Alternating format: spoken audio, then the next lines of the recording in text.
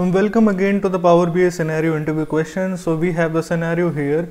Rank cities on the basis of percentage change in the sold quantities from the previous year to the current year. So we have a table where we have uh, the previous year and current year sold quantities of uh, the products belong to a particular city and they are having a product type.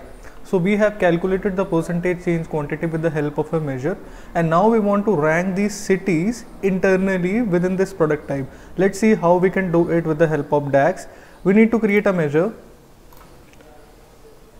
We'll write the measure name as rank is equal to, we'll use the function RANKX and we need to pass the table which we want to rank. So basically we want to rank the city. So we'll pass all selected column because we want to calculate the rank of all selected cities. So we'll write city, we'll pass city in the argument of all selected function, comma, then expression on the which basis we want to rank these basically.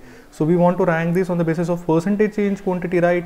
So we will pass percentage change quantity as the second argument, comma, then value. Value is the optional argument, we can skip it, comma in the order of ranking. So we want to rank in the descending order okay comma then ties if the numbers got same in the ranking then what we need to do? Either we, we can skip it or we can dense it. So we don't want to skip it.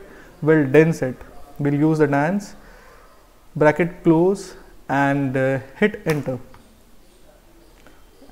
Select the visual and uh, select the rank measure and you can see we have uh, the cities ranked by the rank formula where you can see the London is being ranked the highest followed by uh, Paris and New York. So it is it be it is being ranked in its product type. And you can see these cities are being ranked accordingly to, with the help of product and type as a combination. I hope you understood the video. If you have any doubt please um, post your comments in the comment section